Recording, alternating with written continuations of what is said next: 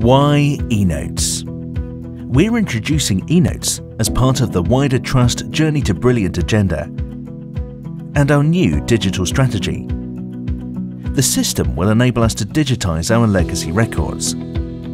Any new paper we generate will be added to episodic folders and scanned.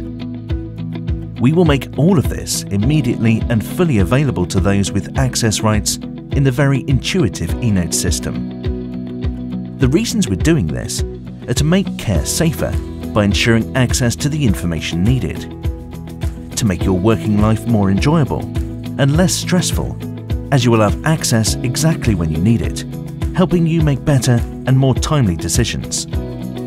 To make the patient experience of our services better, as staff are always in possession of the information needed. To help make our hospital more efficient, by reducing the effort and space we use on storing and moving paper records. This will also be a powerful symbol of our new drive to become a brilliant, fully digital hospital, as legacy notes will no longer be seen and moved around the hospital. Once we have achieved this, we will be using savings generated and investing further to deliver more improvements, including a new electronic patient record solution eNotes, a paper light innovation.